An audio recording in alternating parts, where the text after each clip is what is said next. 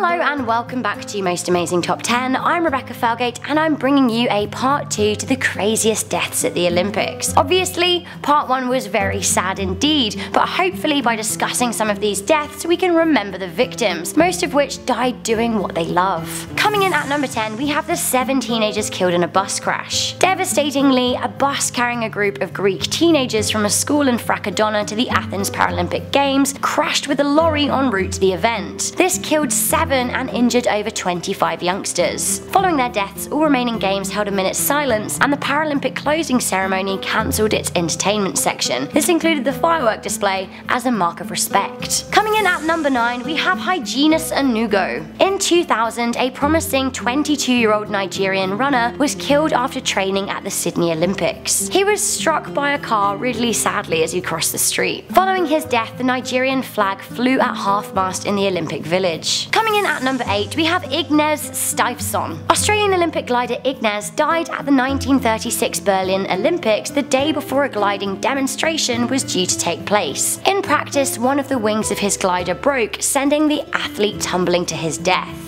Number 7 and number 6 spots, we have two Winter Olympians who both died at the 1964 Innsbruck Games in Austria. Coming in at number 7, we have Polish-born British luger Kazimierz Kay-Skrzypeski. Kazimierz was 55 when he died following a luge crash in practice. This was just six days before the opening ceremony. This Olympics was the first event to ever include luges competitively. Sadly, at number 6, this young Austrian died just three days after him. Ross Milner was just 19 years old when he died after losing control during practice and hitting a tree. Now this was days after the British Luges accident. The two deaths of the 1964 Winter Olympics really marred proceedings and some even called them cursed after a plane crashed into the mountains a month after the opening ceremony. This killed 83 people. More alpine disasters next. At number 5 we have Nicolas Bochatay. The 27 year old Swiss skier sadly collided with a snow grooming machine at the 1992 Albertville Winter Olympics in France. He was warming up with a teammate ahead of the finals of the speed skiing competition when he swerved off course and crashed head on into the vehicle. The accident happened just one day before the closing ceremony. At number 4 we have the sad tale of Jorg Oberhammer at the Calgary Winter Olympics in 1988.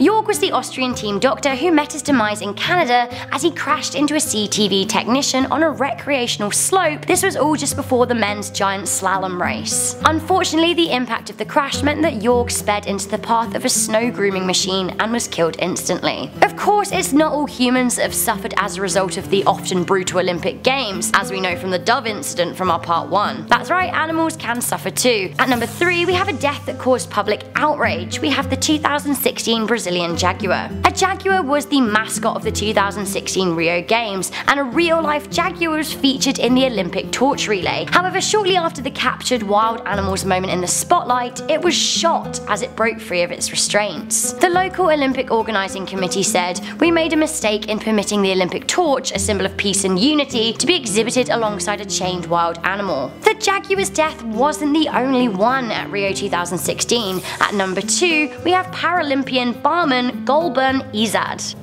Bahman was an Iranian cyclist on the Paralympic team and he had previously competed at the London 2012 Games. Unfortunately, he died following a collision with a rock at the men's C45 road cycling event. This was the first time in decades that an Olympian had actually died during an event. A minute's silence was held for him at the closing ceremony. Finally, at number 1, it is the government's responsibility to make sure that construction of the games is safe, and it seems like by the number of deaths surrounding the Sochi Winter Olympics, the Russian government totally failed their people. That's right, finally at number 1 we have the 60 plus people who were killed building Sochi 2014. Official figures are pretty sketchy with some reporting 60 workers deaths and others reporting over 100. Russia employed cheap Moldovan and Asian labourers were forced to work in unsafe conditions. Now this led to frequent deaths that were reportedly covered up by the Russian Olympic Committee. Reports of bribes to the families of the victims were also rife. While this is unacceptable and a huge huge loss of life in relation to the Olympics, this is nothing compared to the number of worker deaths reported in Qatar ahead of the 2022 World Cup. Now you would hope that history would be able to teach those in charge an important lesson. However, when money and corruption are frequently placed over human well-being, something really needs to be done. So guys, thanks so much for watching this episode of Most Amazing Top 10. I really hope to be able to bring you something happier next time, but it is important to remember these victims. For now, I'm Rebecca Felgate. Make sure you give this video a good thumbs up if you found it